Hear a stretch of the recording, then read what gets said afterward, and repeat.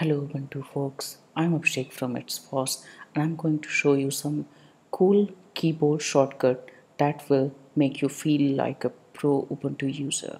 Before we see that, I'll be using the term super key for the Windows key on your keyboard. In Linux term, we call it super key. So let's see some of my favorite keyboard shortcuts that you should know and use as well.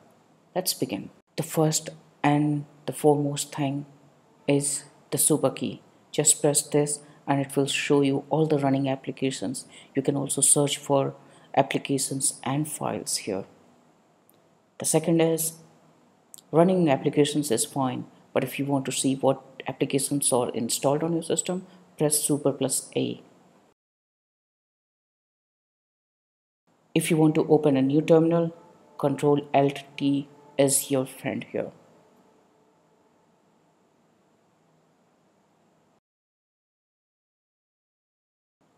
If you want to lock your screen quickly, super plus L and then you'll have your screen locked and then you can unlock it with your password of course.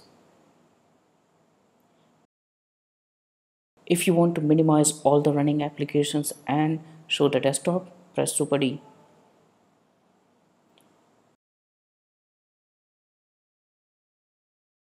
If you want to switch between the running applications, press super tab or Alt tab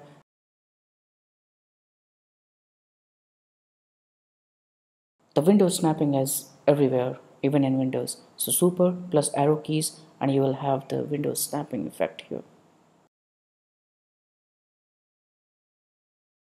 If you want to toggle the notification tray, just press super plus M.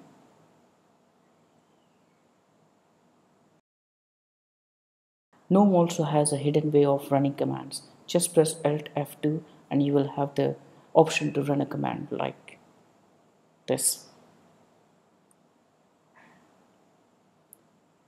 And if you want to close the application quickly just control Q or Alt F4 if you remember Windows. And the bonus tip is for multi-monitor users. If you press super plus shift plus left and right arrow keys you can move the application between monitors. That was my favorite keyboard shortcuts. What are your favorite keyboard shortcuts? Why don't you mention it in the comment section below and if you like the video, give it a thumbs up and stay subscribed for more Ubuntu videos. See you next week. Bye bye.